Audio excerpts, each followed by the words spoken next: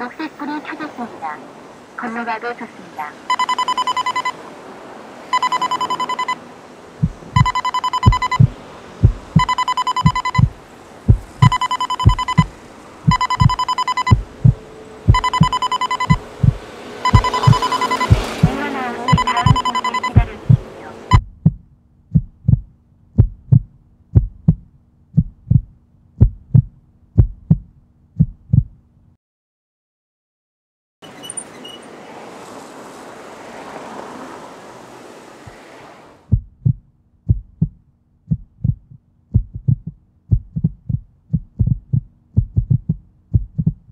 태어나기 전부터 그녀를 놓칠 수 없었습니다.